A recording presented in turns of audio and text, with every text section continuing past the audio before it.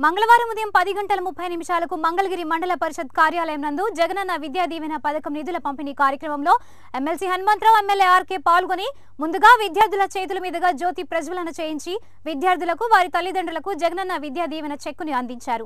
ఈ సందర్భంగా MLA RK మాట్లాడుతూ జగనన్న విద్యా దీవెన పథకం ద్వారా నియోజకవర్గంలో మొత్తం ఆరు వేల మూడు వందల పంతొమ్మిది మంది విద్యార్థులకు గాను ఐదు కోట్ల మూడు లక్షల డెబ్బై ఎనిమిది వేల ఎనిమిది వందల ఎనభై ఏడు కోట్ల రూపాయలను కేటాయించడం జరిగిందని అన్నారు.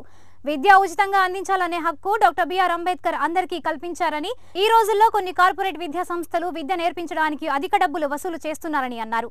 వైఎస్ రాజశేఖర్ రెడ్డి ప్రతి పేదవాడికి విద్య అందాలని ఫీజు రియంబర్స్మెంట్ పథకాన్ని అప్పట్లో ప్రారంభించారని సీఎం వైఎస్ జగన్మోహన్ రెడ్డి ఆయన బాటలోనే నడుస్తూ మరొక అడుగు ముందుకు వేసి జగనన్న విద్యా దీవెన వసతి దీవెన పథకాలను ప్రవేశపెట్టారని అన్నారు. ఈ పథకాల ద్వారా ప్రతి పేదవాడు చదువుకొని పైకి వెళ్ళడానికి ఆర్థికంగా అభివృద్ధి చెందడానికి ఈ పథకాలను ప్రవేశపెట్టారని రాష్ట్రం ఎంత ఆర్థికంగా ఇబ్బందులు పడుతున్నా సరే పేదవాడి చదువు కోసం జగన్మోహన్ రెడ్డి ఈ పథకం ద్వారా సుమారు పదకొండు వేల కోట్ల రూపాయలను ఖర్చు చేస్తున్నారని అన్నారు. ఇందుకు మనమందరం సీఎం వైఎస్ జగన్మోహన్ రెడ్డికి అండగా ఉండాలని అన్నారు. విద్యార్థుల తల్లిదండ్రులు విద్యార్థులు మాట్లాడుతూ సీఎం జగన్మోహన్ రెడ్డి చేస్తున్నటువంటి ఈ సహాయానికి తాము ఎంతో రుణపడి ఉంటామని అన్నారు.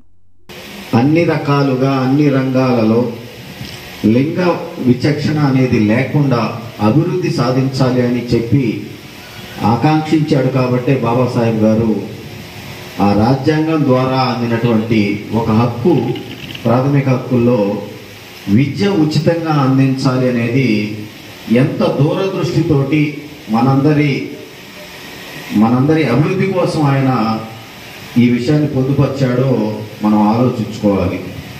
అలాంటి ప్రాథమిక హక్కు అలాంటి ఉచితంగా అందించవలసినటువంటి విద్యని ఈ రోజున కొంతమంది కార్పొరేటు వ్యవస్థలు కొన్ని కార్పొరేట్ వ్యవస్థలు కొంతమంది కార్పొరేట్ వ్యవస్థల వ్యక్తులు విద్యని వ్యాపారంగా మార్చడం వల్లే ఇవాళ సమాజం పతనావస్థకి చేరుకుంది అని చెప్పి నేను ఖచ్చితంగా చెప్పగలుగుతా. ఎందుకు పతనావస్థకి చేరుకుంది అని అంటే ఆర్థికంగా బాగున్న వాళ్ళు మాత్రమే కార్పొరేట్ వ్యవస్థల్లో కార్పొరేట్ విద్యా సంస్థల్లో చదువుకొని వాళ్ళు పైకి వెళ్ళగలుగుతా ఉన్నారు.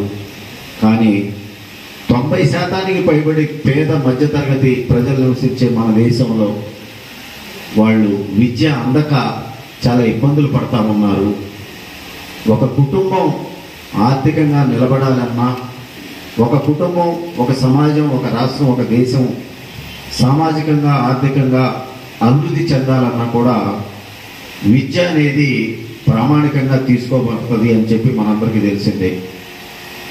దీన్ని గ్రహించాడు కాబట్టి దివంగత మహానేత రాజశేఖర రెడ్డి గారు ప్రజల్లో అనే దాన్ని ఉచితంగా అందించి దాన్ని వాళ్ళకి అందుబాటులోకి తీసుకొచ్చేటట్టయితే ఎక్కువ మంది చదువుకోగలుగుతారు. చదువు ద్వారా వాళ్ళ జీవితాలు బాగుపడతాయి అని చెప్పి ఆయన ఆశించి అమలు చేశారు కాబట్టే ఆయన ముఖ్యమంత్రిగా ఉన్నంత కాలం ఫీజు రియంబర్స్మెంట్ అనే పథకాన్ని తీసుకొచ్చి వందకు వంద శాతం పేదవారికి అర్హులైనటువంటి వాళ్ళకి ఆ పథకాన్ని అందుబాటులో తీసుకొచ్చినటువంటి సంగతి మనందరికీ తెలిసిందే. మరి ఈ రోజున జగన్మోహన్ రెడ్డి గారు తిరిగి అదే పథకాన్ని కొనసాగిస్తూ ఎంత సహాయం ఈ విధంగా మనకి